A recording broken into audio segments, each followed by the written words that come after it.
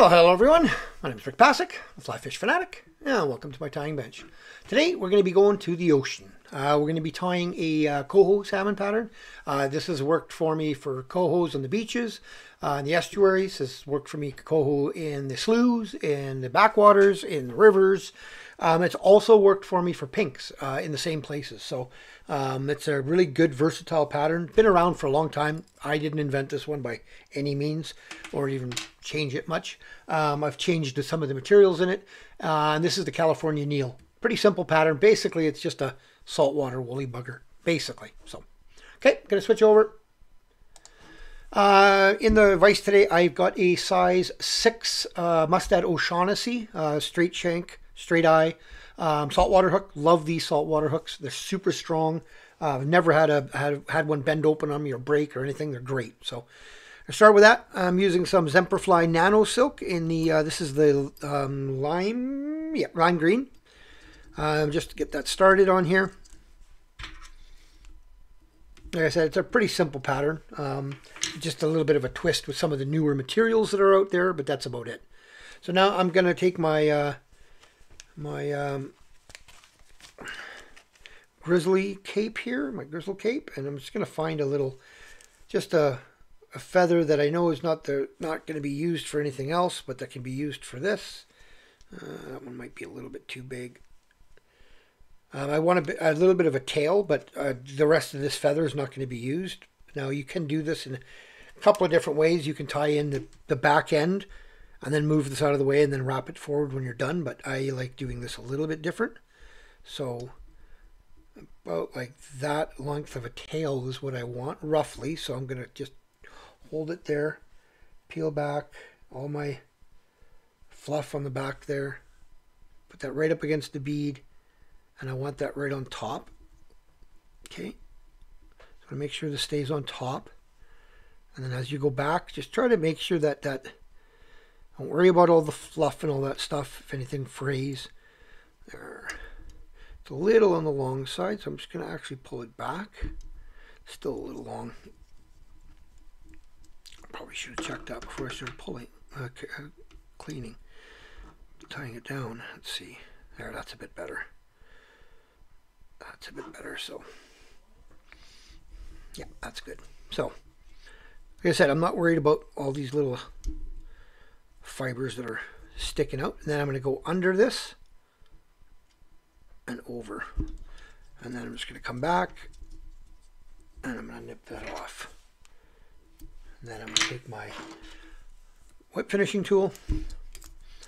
Just give that a whip finish just so it doesn't go anywhere on me. Now I'm going to take a little bit of, where did I put it? Uh, the Semperfli. Um, oh, I must put it away on myself here. Sorry, guys. Uh, Semperfli uh, 0.2 mil silver wire. I thought I kept it out, but I didn't. So just going to take a bit of that, a length of it. Obviously, I didn't have enough left, so. And I'm just going to lay this on there on my side. A couple of wraps, pull it all the way in, so it's all the way back, all the way back to the to the tail. Come on back forward again. Like I said, I'm not worried about all these little stragglers. And one more time. Whip finish. Remove your thread. Then, because I've got some of these stragglers, whoops, uh, what I like doing is just turning it over and just woo, just give them a burn out of there. They'll right? So, right, just give that a clean. Doesn't matter, it's all going to be hidden anyway, so I'm not really too concerned about it. But now I'm going to take some Semperfli Microglint in the, um, the golden olive.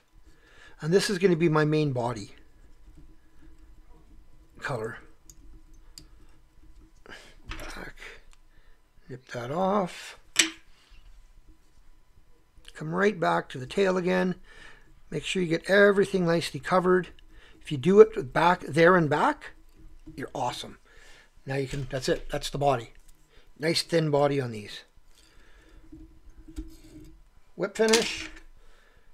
Cut it off. If you want to, you can now put a UV coating on it. I don't bother. Okay. Um, Then I'm going to find another good feather, but this time I want a good feather for actually doing a hackle. So I'm to take one of these up here.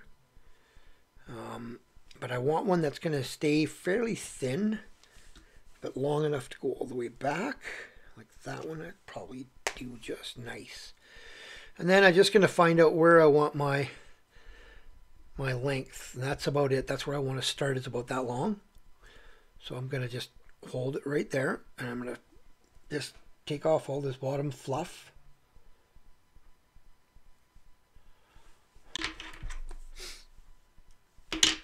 And then I'm going to read, put tie on my green, but I want to just stay right behind the eye here, right? Oh, and this bead, by the way, is an oversized silver tungsten. Um, you don't have to go tungsten. It, I tie them with and without tungsten. Um, on this one here, because it is tungsten, I'll put a little black dot on it. So I know that it's tungsten.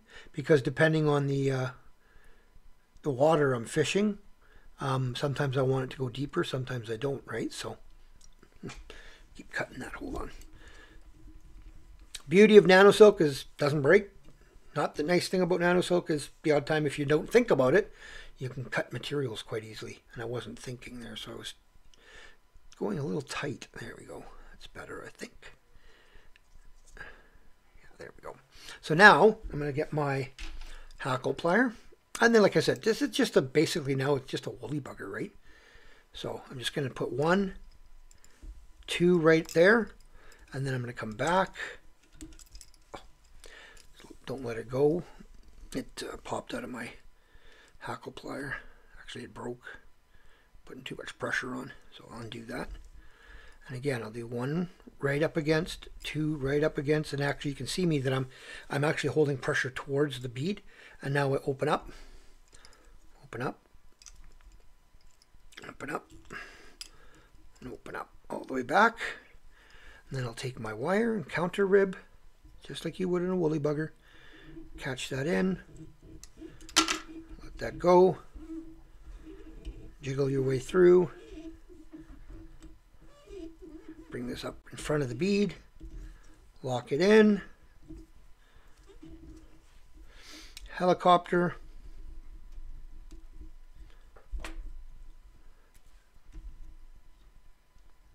Pull off your back piece.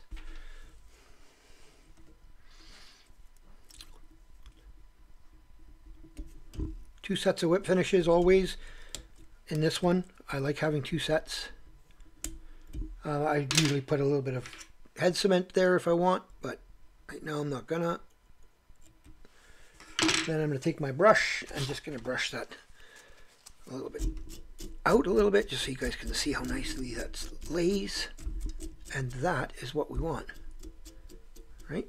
I could have put actually a third, a third uh, round around the front here. This one uh, did hold come back a little bit, but uh, scruffy and just you want this uh, a fairly long tail, not too too long. Like that's bordering on long. You want it as long as the body sticking past the hook. So that's maybe like the one bar, that last black bar. Maybe I could have cut had it that much shorter, but that's it.